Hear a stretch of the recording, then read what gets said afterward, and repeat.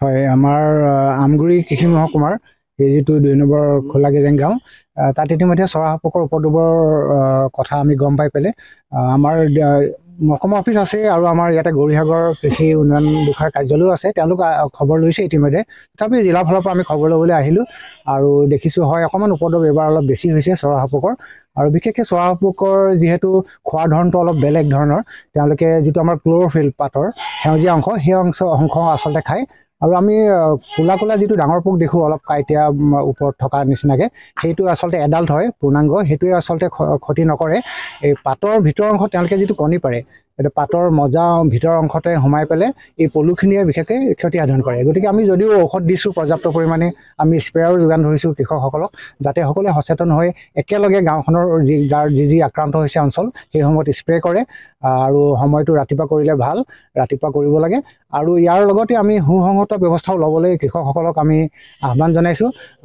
Chemical ঔষধ দিলেও যিহেতু পলুটো ভিতৰত থাকে বুলি ক'লোঁ গতিকে কাঁইটীয়া যদি যিবিলাক ডালপাত আছে আমি বগৰী দাইল লৈ যদি পাতটো আমি ফালি দিওঁ ফালি দিলে সেই পলুবিলাক পাতটোৰ পৰা ওলাই যায় আৰু বহু সেই সেই ধৰণেও বহুলাংশে আমি খেতিডৰা বচাব পাৰিম।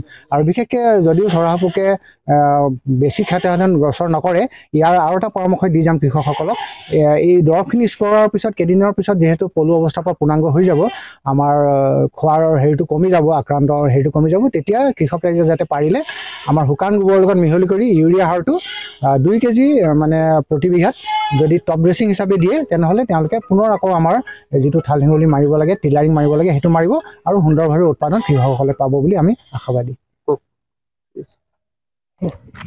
আজি এতিয়া হাতীগুলি পঞ্চায়তৰ তিনি নং খোলা গেজেঙত উপস্থিত হৈছোঁ। ইয়াত আমাৰ এইবাৰ প্ৰায় শিৱসাগৰ জিলাৰ বহুত ঠাইত আমাৰ হিস্পাৰ অৰ্থাৎ অৰ্থাৎ আমাৰ যিটো চৰহা পোক চৰহা পোকৰ উপদ্ৰৱ এইবাৰ দেখা গৈছে আৰু কিছু কিছু ঠাইত উপদ্ৰৱটো অলপ বেছি হৈছে। ইয়াৰ কাৰণ হ'ল যে আমাৰ এইবাৰ একেৰাহে প্ৰায় বৰষুণ হৈ থকাৰ কাৰণে মানুহবিলাকে পোক স্প্ৰে কৰিলেও মানে পোকটো মানে আমাৰ কণ্ট্ৰল হোৱা নাছিলে আৰু তাৰোপৰি মানুহবিলাকে চৰহা পোক বুলি ক'লে মানুহবিলাকে পটককৈ স্প্ৰে কৰিব নিবিচাৰে সকলো মানুহে। গতিকে আমি আজি গাঁৱৰ মাজত আহি আমাৰ গোটেই জিলাৰ জিলা কৃষি বিষয়াৰ পৰা আৰম্ভ কৰি আমাৰ সহকাৰী সঞ্চালকৰ পৰা আমি এছ ডি সকলো আজি ইয়াত আহিছোঁ কৃষকসকলক সজাগ কৰিবৰ কাৰণে। লগতে আমি তেওঁলোকক আমি আমাক যিমান দৰৱ প্ৰয়োজন হয় আমি এতিয়ালৈকে সিমান দৰৱ আমি যোগান ধৰিব পাৰিছোঁ।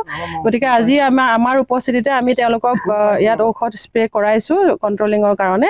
আৰু আমি আশা ৰাখিছোঁ আমি তেওঁলোকক আজি ঔষধ দি যাম পৰ্যাপ্ত পৰিমাণে। তেওঁলোকে যাতে কাইলৈ খুব সোনকালে ৰাতিপুৱা আমি তেওঁলোকক স্প্ৰে কৰিব কৈছোঁ।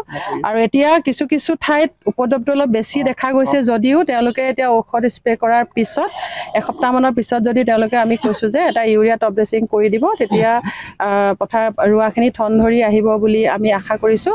আৰু এতিয়া ইয়াৰ এই ক্ষেত্ৰত আমাৰ সকলোতকৈ প্ৰয়োজনীয় কথাটো হৈছে যে ৰাইজৰ সজাগতা। তেওঁলোকে যদি সজাগ হয় সকলোৱে যদি আগবাঢ়ি আহে আমি নিশ্চয় এই চৰহা পোকৰ উপদ্ৰৱটো মানে প্ৰতিৰোধ কৰিবলৈ আমি মানে সক্ষম হ'ম।